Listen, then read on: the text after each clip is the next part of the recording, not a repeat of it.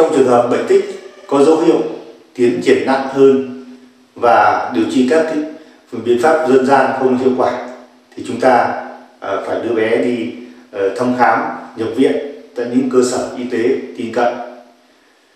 Lúc này, các bác sĩ sẽ sử dụng các cái phương pháp điều trị, trong đó có liệu pháp nhận thức hành vi CBT liệu pháp ờ, nhận thức hành vi là một trong những biện pháp điều trị tốt nhất điều trị rối loạn tích.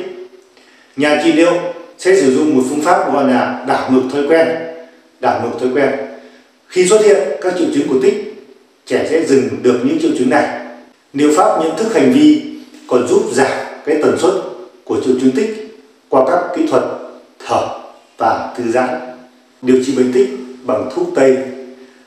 Khi đó các bác sĩ có thể kê cho trẻ các loại thuốc như thuốc giảm đau hoặc thuốc chống loạn thần như Pimozid, Ziperidone là những loại thuốc chủ yếu để điều trị tích.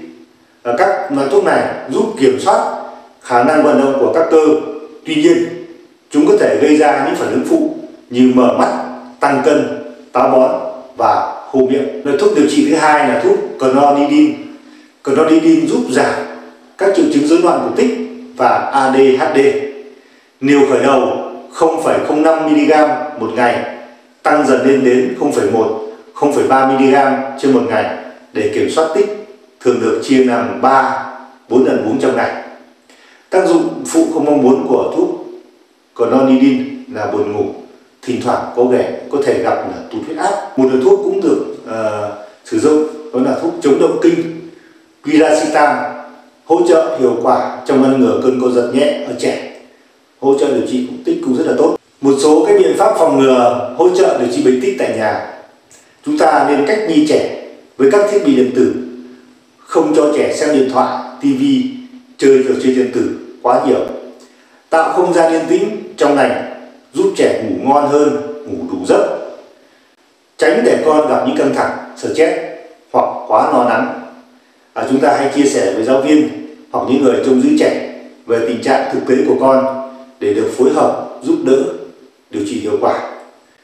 Khuyến khích con ra ngoài chơi tạo môi trường mới và liên kết với bạn mới. Hy vọng những chia sẻ trên đây của dược sinh luận sẽ giúp các anh chị hiểu hơn về hội chứng tích và có thể giúp con mình có một cuộc sống hạnh phúc vui vẻ. À, xin cảm ơn. Xin chào và hẹn gặp lại. Cảm ơn bạn đã xem hết video. Hãy lựa chọn video bên trái hoặc bên phải màn hình của bạn. Hoặc bấm vào nút đăng ký để không bỏ lỡ video của Trần Văn Luận nhé. Xin cảm ơn và hẹn gặp lại.